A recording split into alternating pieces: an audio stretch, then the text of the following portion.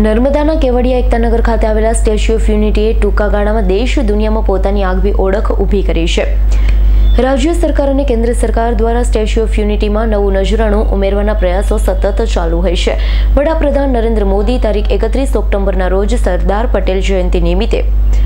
એકતાનગર સ્થિત સરદાર વલ્લભભાઈ પટેલની વિશ્વની સૌથી ઊંચી પ્રતિમા સ્ટેચ્યુ ઓફ યુનિટીની મુલાકાતે આવી રહ્યા છે, જેને અનુલક્ષીને સ્ટેચ્યુ ઓફ યુનિટી સ્થિત circuit house Ekta mall admin બિલ્ડિંગમાં રંગબેરંગી લાઇટિંગ કરવામાં આવી. જેનાથી ચારે બાજુ રંગબેરંગી વાતાવરણ બન્યું છે. ઉપરાંત સ્ટેચ્યુ ઓફ યુનિટી નજીક ગંગા મૈયાની જેમ નર્મદા મૈયાની ભવ્ય આરતીનું આયોજન કરવામાં આવે છે. આરતીમાં લાઇટ અને સાઉન્ડનું નજરાણું પણ વિશેષ રૂપથી ઊભું કરવામાં આવ્યું છે, જેના કારણે નર્મદા મૈયાની આરતીનો લાભ લેનાર ભક્તોને આધ્યાત્મિક ભવ્યતા અને દિવ્યતાનો વિશેષ અનુભવ થઈ રહ્યો છે.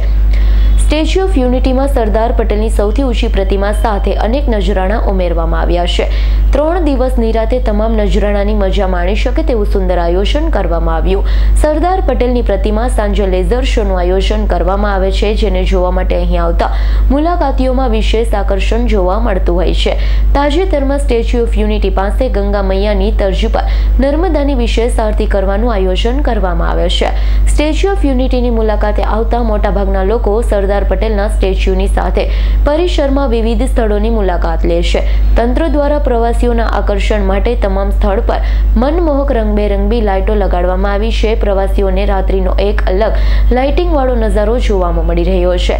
લાઇટિંગની ભવ્યથી જગમગ બનેલું એકતાનગર પ્રવાસીઓનું આકર્ષણનું કેન્દ્ર બન્યું. Deepak જગતાપનો report S nine news Rajpipla.